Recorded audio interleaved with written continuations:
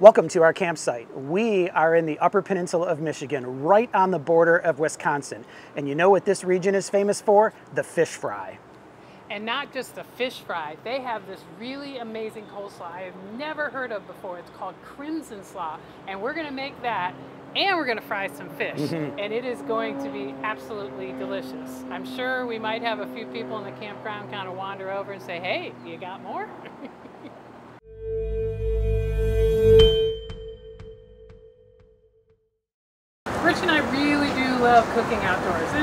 probably something you do when you go camping. You cook outdoors, but what we do even more is we prep outdoors when we cook outdoors.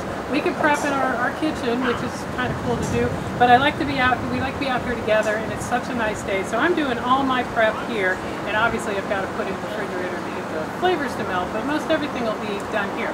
So because we are outdoors, you may hear dogs, children, planes, trains, automobiles, and see a camper or two go by. So I apologize in advance for that. So we're going to jump right into this crimson slaw. So what is crimson slaw? It is coleslaw made from red cabbage with red onion, green onion, very onion heavy, and cranberries. Have you ever heard of that? I surely hadn't. I love cabbage and I love coleslaw, so I had to do some research.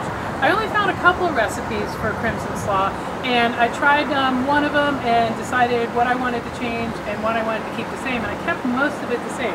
This one, however, is um, an interesting recipe that includes cumin, which you would not think would go into a coleslaw, but that little bit of cumin really makes a difference. So I have my slaw, my red onions, and my green onions in here. I, I sliced it all up to a little bit bigger than bite sizes. So that's here. Waiting for its dressing. So now I'm going to make the dressing. So we have olive oil. This is a really easy slaw to make. Red wine vinegar. This is a mayoless slaw. I forgot to mention that. Sugar. You're gonna need the sugar with all the tartness of the cranberries. And then we have some brown mustard, salt, pepper, and that little bit of cumin that if you made this about the cumin, it would still be wonderful. If you're a little funky about cumin, don't put the cumin in. I wanted to try it because I'm a little funky about cumin. It's like sometimes I like it, sometimes I don't, and I was really kind of worried about it. But I really liked what it brought to the dish. It kind of made it, it made it more than, than what it could have been, or made it more than what it is. I don't know. I liked it. It was really good. Okay, I'm just whisking this together. I think I've got a good whisk, and as you whisk like this, your, your sugar is going to start to dissolve, which is what you want. Okay, get that in here, and I'm going to get my cabbage. I've Got my tong. I am just going to pour this over the entire bowl of cabbage. And I'm going to toss, distribute everything together. Oh, I put some parsley in here. I forgot to mention that. I chopped that up too, just a little bit for some color. Okay, so once you have it all distributed nicely, in go the cranberries. And I know it sounds weird, cranberries and slaw, but it is so good. It is one of the most delicious slaws I have ever had. And I am so thankful for the state of Wisconsin of um, bringing it to my attention because I am going to eat this regularly. Okay, that looks good to me. Now, with most slaws, you can pretty much, I'd say just eat them right after you made them. All salads like this benefit from being in the refrigerator sometime for some for some time. But this one for sure needs to get all these flavors to settle down and meld together. So I'm going to go throw this in the refrigerator, and then Rich is going to fry up some fish. Great Lakes whitefish, one of my favorite fish of all times. It's got a nice hearty texture to it and a very light, mild flavor. So what I did was went down to one of the local fishmongers here in town and picked up some fresh caught whitefish fillets. I've cut them into the size of about a playing card. Um, so about that big around, you can see there.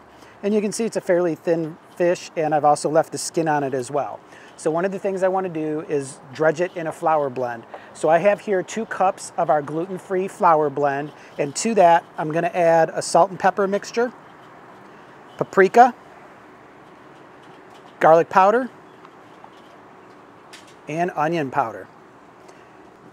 And the recipe for the dredge will be in the description below as well as our website, gfexplorers.com. And then you just give this a little whisk.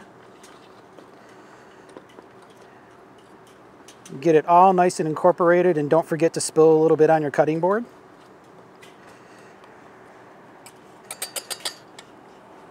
All right, that looks pretty good. Take a look at my oil. It's about 320. I want to start it at about 360 degrees because as soon as you add a couple of fillets in there, it's going to drop and then we want to fry at a good solid 350 degrees. So we're going to wait a minute to let this oil come up to temperature. An RV kitchen is a small space and frying fish isn't always the ideal thing to cook in your small RV kitchen. So we like to cook things like that outside. And my setup is an electric induction burner with a small cast iron Dutch oven on the top of it. I've got about an inch and a half of oil in it. You don't need a lot of oil and a temperature gauge here so I can monitor my temperatures. All right, our oil's up to temp. It's at 365. It's time to fry some fish. I've got our dredge station set up. I've got our fish. I've got a container with a couple of beaten eggs in it because we want something to that for that flour to stick to. And then I've got our flour blend that we put together a little bit earlier. So we're gonna go right into our egg mixture, coating the whole filet, right into our flour. Coat both sides. And shake off your excess and right into your pan, leaning away from you in case there's any splash up. Do the same thing with this guy.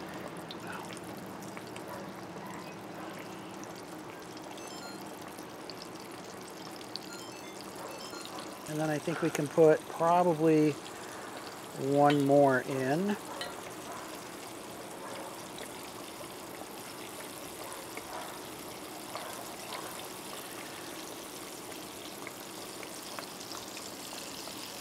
All right, and we're gonna let those guys go. I'm gonna clean up my flour club hand here, and these are gonna cook for about four to six minutes until they're golden brown and start to float up to the top.